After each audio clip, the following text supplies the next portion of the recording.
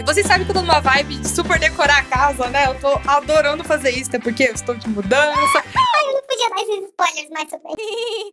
E sabe de uma coisa? Por mais que você deixe a sua casa a coisinha mais linda do mundo, quanto mais feliz e mais de bem com a vida você tiver, mais lindo você vai ver tudo. Também tem pesquisas que indicam que quem dá joinha aqui embaixo do vídeo enxerga o mundo de uma maneira mais feliz. Então, fica a dica aqui, a primeira dica de decoração é essa. E se inscreve no canal se você quer outros vídeos também, que vai ter muitos vídeos de decoração, mas também tem vídeo de tudo quanto é coisa, tá bom? É, vamos nessa! Thank you. Antes de começar, a gente precisa saber das notícias, das novidades, por isso temos aí o jornal.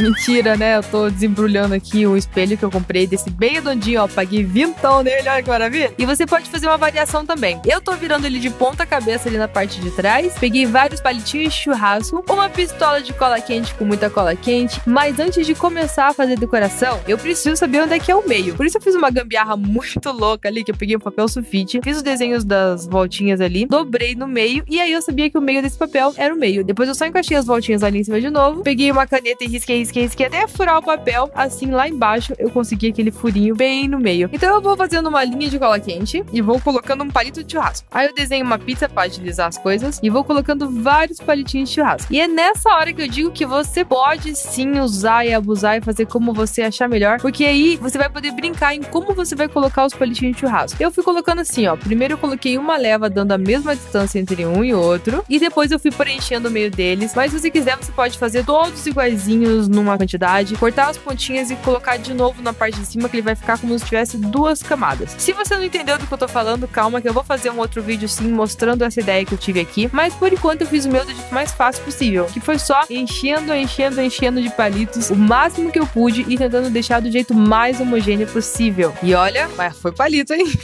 e na hora que eu terminei, eu esperei secar a cola quente, virei ele pra cima de novo. E olha, gente, já ficou uma gracinha, né? Você pode deixar assim se você quiser, mas eu acho que fica muito parecido com o palitinho de sorvete. Então, o que que eu fiz? Primeiro, eu encapei ali, ó, coloquei uma folha, duas folhas e passei uma fita para eu não pintar o meu espelho, porque senão depois ia ser muito difícil de tirar as manchas de tinta. Escolhi a cor que eu queria, que eu tô amando esse tom de azul, gente, que eu acho maravilhoso, tá sendo uma das cores que eu mais tô usando nos vídeos. Coloquei em um potinho e fui pintando os palitinhos. E isso é uma coisa assim, relaxante demais para fazer. Quando eu fui fazendo esse palitinho, eu fui ligando a música e fazendo devagar e com calma e tranquilo. Você pode nessa hora também brincar e pintar de várias cores diferentes, fazer um arco-íris, fazer um degradê. Enfim, você pode usar e abusar da sua imaginação e fazer o que você quiser. E se você não tiver espelho e quiser fazer só algo com os palitinhos, você pode também. E olha só, é assim que ele fica pronto. Top, né? Uma muito top, rapaz céu. E essa é uma ideia, assim, ó, de como fazer um quadro que brilha muito, de uma maneira barata e que fique muito legal. Então, para isso, eu peguei um isopor. O isopor que eu tô usando é um isopor meio grosso, então ele dá mais ou menos um dedo e meio de grossura. Eu resolvi fazer no tamanho de uma folha sulfite, cortei ali no tamanho que eu queria. E aí eu peguei esses pisca-piscas aí, ó. Eles não esquentam e eles são ligados à pilha. É, não é obrigatório que seja ligado à pilha, você pode colocar na tomada, mas quando você consegue ligar ele à pilha, você consegue levar ele para qualquer lugar, né? Então, para começar, eu fui lá e peguei uma canetinha e fui marcando xizinhos onde eu queria encaixar as bolinhas do meu pisca-pisca. E eu tive um cuidado de fazer mais ou menos uma distância legal que eu realmente consiga andar com pisca-pisca e com outro, dando um espaço legal entre cada um. Ah, mas como é que eu vou saber quantos buraquinhos eu tenho que fazer? É simples, meu caro. É só você saber quantos pisca-piscas você tem. O meu, por exemplo, tinha 19 ou 20, não lembro. Então eu sabia que eu tinha que fazer 20 xizinhos. Depois disso, eu peguei essa chave de fenda, você pode pegar alguma outra coisa redonda que você tiver que seja de metal, e esquentei numa vela, deixei ela bem quentinha, e aí eu fui apertando esses buraquinhos, fazendo o buraquinho no X que eu marquei. Eu gosto de aquecer porque eu consigo fazer um buraco bem bonitinho, bem certinho, sem ficar voando isopor para todo quanto é lugar. Depois disso é só você encaixar todos os pisca-piscas dentro dos buraquinhos. E para não ficar essa coisa solta, para dar um acabamento legal, eu peguei uma fita crepe e fui grudando tudo e deixando tudo bem preso, porque senão ele ia começar a sair do buraco também e não ia ser muito legal. Depois que eu cobri tudo com o durex, eu virei ele pro lado da frente, que é o lado que estão as luzinhas, virei os fiozinhos lá para trás e aí eu peguei um papel manteiga, você pode usar um papel sulfite também, que vai aparecer do mesmo jeito, mas eu não quis abusar porque o papel manteiga é bem mais fino e ele não ia cobrir tanto as luzinhas, ia ficar um quadro bem mais iluminado. E como eu fiz o tamanho uma folha sulfite, né, eu não ia conseguir encapar tão bonitinho quanto eu consegui com papel manteiga. E aí eu encapei como se eu estivesse fazendo um caderno, como se estivesse embrulhando um papel de presente ou alguma coisa do tipo. Dobrei pro lado, apertei os cantinhos, virei para cima e colei tudo com fita crepe. Fita crepe é maravilhosa, fita crepe é um amor, fita crepe tem que estar tá na sua casa todo dia e aonde você for. tá, terminei ali. Agora eu vou virar e vou começar a fazer minha decoração. Eu peguei cola branca e um pincelzinho e eu fui fazendo na parte de baixo, como se fosse um degradê, e fui jogando pra cima, assim, ó, do jeito que fique mais cola embaixo e menos cola em cima. Depois disso, eu aquele glitter, mas aquele glitter mesmo, mas botei muito glitter. E assim, como minhas luzinhas elas eram branquinhas, eu falei, vou botar glitter prateadinho. Se minhas luzinhas fossem bem amarelinhas, eu ia botar glitter douradinho. Mas aí fica ao seu critério. Se você quiser fazer algum desenho também, é uma ideia muito top. Posso trazer aqui também, se vocês gostarem dessa e vocês derem bastante like embaixo do vídeo. Depois disso, é só você colocar a pilha ali, ó, no negócio do pisca-pisca e acender. Você vai ter como se fosse um quadro jur, quadro abajur. é o chip, né? Chip do quadro com abajur.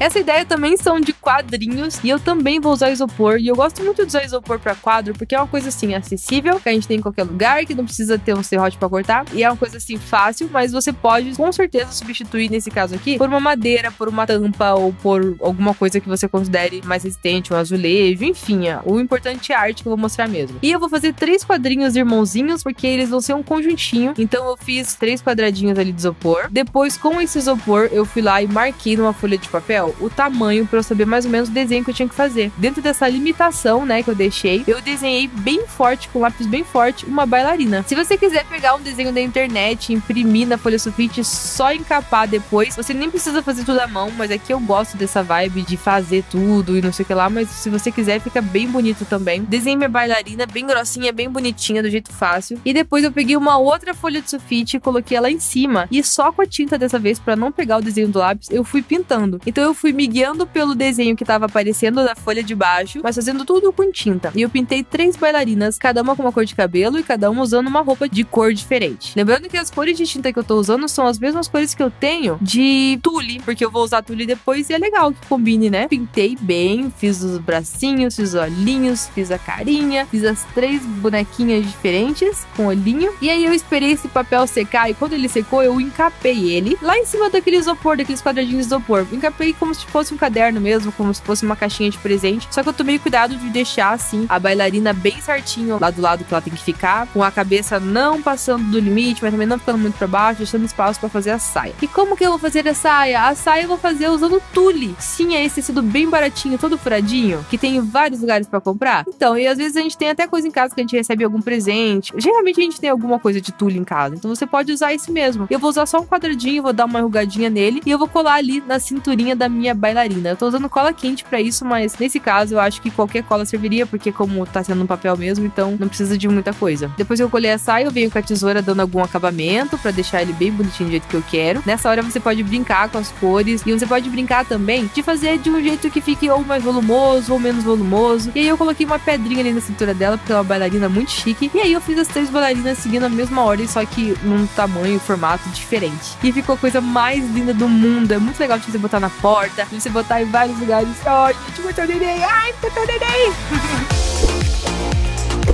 E essa é uma ideia muito legal. Eu tô usando ali, ó, é cimento ou concreto, é tanto faz o que você for usar. Eu prefiro cimento porque ele não vem com as pedras, mas esse meu aí tem pedras e não faz diferença nenhuma. E a primeira ideia que eu vou fazer usando esse cimento é com uma caixinha de leite integral que eu vou usar lá de molde. E eu achei uma ideia assim, muito assim, meu, acordei, sonhei com essa ideia e falei, vou tentar e vamos ver no que que dá. Então eu peguei a minha caixinha, botei o cimento lá dentro. E por que que você tá usando uma caixinha de leite? Porque eu já tinha feito outras dicas aqui, eu usei tapoeira, usei outras coisas. E na hora de desenformar fica muito difícil. O ideal, toda vez que você for fazer algo com cimento, que você vai usar alguma coisa como molde, que seja algo que você realmente consiga rasgar ou cortar para conseguir desenformar, que fica bem mais fácil. E eu deixei ali essa caixinha de cimento secando um pouquinho assim, mas eu digo um pouquinho, uma meia hora. E quando eu vi que ficou bom, que ficou quase duro, aí eu espetei alguns palitinhos de churrasco lá dentro. Espetei uns cinco. Como se eles estivessem formando uma garrinha ali na parte de cima. E depois disso eu esperei secar bem de um dia pra noite. E olha só, ele secou bem, ele vai ficar bem branquinho. Viu como é fácil na hora de desformar? É só você cortar a caixinha e tirar o quadradinho ali de dentro. E aí eu pego uma lixa, dessas lixas de papel assim, e vou lixando e tirando o excesso, deixando bem lisinho, bem branquinho. Eu lixo também a parte que tava os palitos ali, o máximo que eu conseguir para ficar certinho. E antes de tudo, eu começo a enfeitar a parte das laterais do meu quadradinho. Vocês já vão entender para que, que ele serve. Então eu faço um desenho assim bem aleatório mesmo, como se fosse um arabesco. Nessa hora também é outro momento que eu ligo o som, solto a criatividade, vou fazendo tudo e vai rolando humana, assim, ó. Não tem que ficar perfeito, não tem que ficar assim,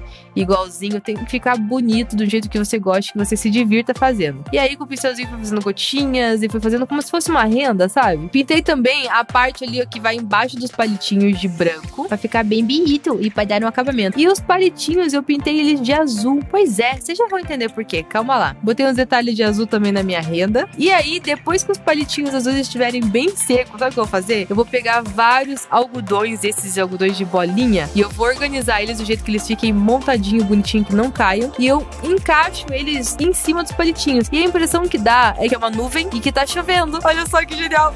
e ficou muito bonitinho. Eu até tive uma ideia assim que eu poderia ter colocado os pisca-piscas, que ia ficar bem legal também. Mas aí fica a dica pra vocês, né?